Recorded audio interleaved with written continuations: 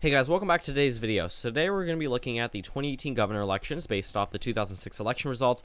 And pretty much if you don't care about this, then um, I guess then don't watch the video, I guess. But um, this is going to be pretty interesting considering that the results were very different than what they are now in terms of incumbents and also who's pretty much running in each race. And also the results are pretty different than what we are expecting today. So pretty much this is the current uh, composition of governors and 16 uh, Democrats, one independent, and 33 Republicans. Actually, one down from where they were in 2016. But we're going to do this in alphabetical order. We're going to start off with the first state of Alabama, and pretty much is a Republican state. And uh, the way I do this is tilt is going to be uh, less than 1%. Lean is going to be 1 to 5%. Likely is 5, uh, sorry, 6 to 15%. And then safe is greater than 15%. So uh, we'll start off with Alabama, which pretty much is greater than 15%, but very narrowly, but still a safe Republican state. As for Alaska, Sarah Palin wins there uh, by around 8%, I guess. Uh, that goes into the likely column for the GOP there. Um, let's go ahead and take a look at Arizona. So the Democrat here actually won with 62.6% of the vote. So that is very interesting, meaning it goes into the safe Democratic column in the state of Arizona. Arkansas as well. This is a Democratic gain. Uh, pretty much, actually, I believe uh, Asa Hutchinson, who's currently the governor, ran against Mike Beebe, who now has, uh, who won with 55.3%, but not quite enough to put it right over that 15% mark, but uh, could have if it went uh, narrower, I guess. Um, California, Arnold Schwarzenegger wins with 55.9% of the vote, so also very narrowly over for that 15% mark, but California, a safe Republican state. Weird saying that. Uh, Colorado, uh, Bill Ritter wins with 57% of the vote, exactly 15% more. Sorry, not exactly 50% more, exactly 17% more uh, than the GOP opponent. So Colorado goes into the safe Democratic column. As for Connecticut, which has contested this election uh, season, the Republican wins with over 60% of the vote. Connecticut easily goes to the GOP. As for uh, Florida, Charlie Crist wins here with 52.2% of the vote, but it's not an overwhelming victory. It just goes into the likely column for the GOP. As for the state of Georgia, Sonny Perdue, a Republican, wins by over 15%, so Georgia goes in the safe GOP column. As for Hawaii, uh, Linda Lingle uh, wins with uh, a huge margin. She is a Republican from Hawaii, which is also pretty interesting. In Idaho, the uh, Republican actually wins by less than 10% in Idaho, which is very interesting to say the least. As for Illinois, the Democratic uh, governor there wins re-election, but by around 10%. So Illinois uh, goes into the likely column for the Democratic Party. Iowa, the uh, Democrat wins here by around 10%, like uh, Illinois, so Iowa goes in the likely Democratic column as well. As for Kansas, uh, the Democrat they're reelected by over 15%, so Kansas goes into the safe Democratic column. As for Maine, that one goes into the safe. Uh, sorry, actually not safe, likely Democratic column because the Democrat won here with 38% of the vote, um, which is not too good, but 8% win over the GOP candidate. As for Maryland, my state, Martin O'Malley wins here, which is a Democratic gain with 52.7% of the vote against the incumbent uh, Republican governor, uh, which we also have up in 2018, but the governor is a little bit more popular than where they were before. Martin O'Malley wins with 52.7% of the vote to 46.2%, so not a overwhelming uh, an overwhelming margin. Um, but pretty much a little comfortable around 6%.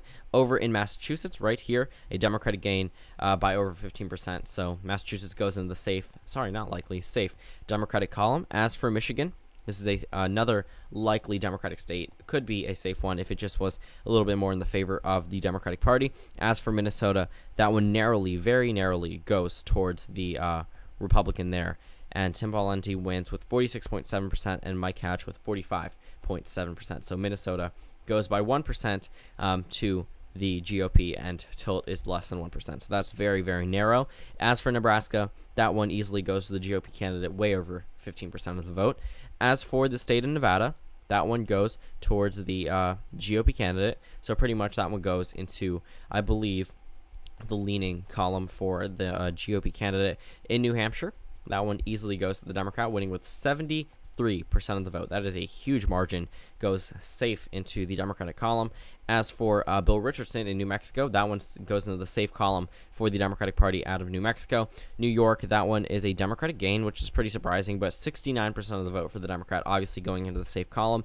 As for Ohio, that one goes into the safe uh, Democratic column. Keep in mind, this is the same candidate, Ted Strickland, who ran in 2016 and was easily decimated in the uh, 2016 Senate race in Ohio. So that's very interesting to look at a governor who won re-election by such a large margin go into 2016 and run for something 10 years later, only to lose I mean, pretty badly. Over in the state of Oklahoma, that one is a safe Democratic state, as crazy as it sounds. Over 30% margin for the Democrat there. Oregon, uh, pretty good for the Democrats, not a safe margin, a likely margin for the Democratic Party. As for the state of Pennsylvania, that one easily goes to the Democrat by over 15%, so another state to fill in into the safe column. As for Rhode Island, uh, the Republican there was reelected uh, with a margin 51 to 49, so a very narrow uh, 2% margin in the state of Rhode Island. As for the state of South Carolina, that one goes in the likely column for the uh, the GOP candidate, sorry, not the Democratic candidate. And then we go ahead and take a look at the state of South Dakota. So that one goes towards Mike Rounds.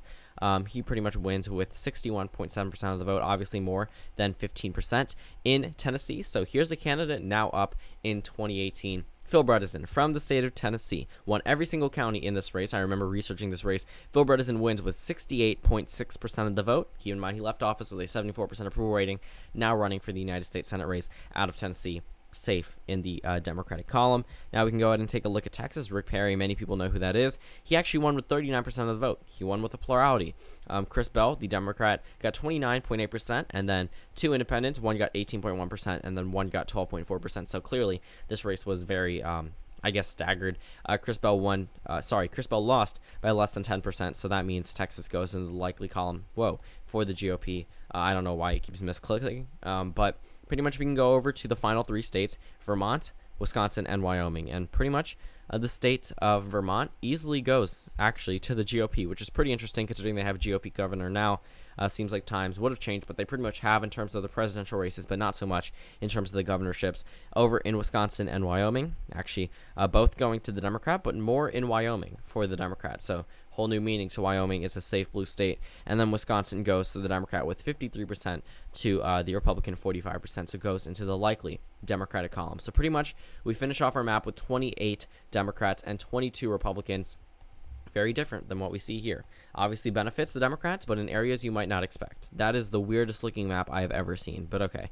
Uh, we have 16 Democrats here, 28 Democrats here, but not a Democrat in California, or in Connecticut, or in Minnesota, or Vermont, or Nevada, or Hawaii, and there's no Republican in Oklahoma, in Kansas, in Wyoming, in Arizona, in Tennessee, in Arkansas, in Iowa. So these very very interesting results.